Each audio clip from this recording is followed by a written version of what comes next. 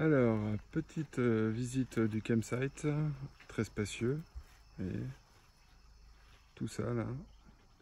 Ici, euh, petite cuisine. On a de la lumière le soir, H24 en fait, ce qui est super euh, classe. Ici, une cuisine avec de l'eau qui coule. Bon, en eau potable bien sûr, mais pratique quand même. Un barbecue de compète. Voilà.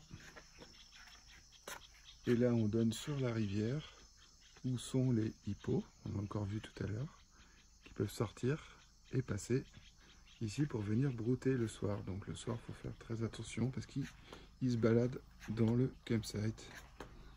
Voilà. Donc nous, on a installé le 4x4 là-bas pour dormir et en face, les ablutions. Donc à droite, les toilettes, à gauche, la douche. Eau chaude que nous obtenons grâce à ce petit truc magique qui fonctionne au feu de bois. Voilà, ça brûle là et qui fait de l'eau chaude. Grand confort. Et puis là, attention, une salle de bain avec une douche dans l'arbre.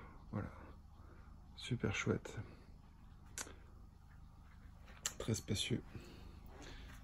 Et de l'autre côté, pas moins spacieux, les toilettes. Bon, ça vaut quand même le coup d'œil.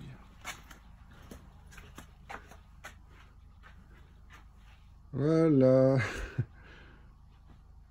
Donc ça, c'est comme site de compète. En espérant que nos petits hippos viendront ce soir brouter à quelques mètres de nous. Ça fera bien peur à Steph. Au passage, on a un super coucher de soleil derrière.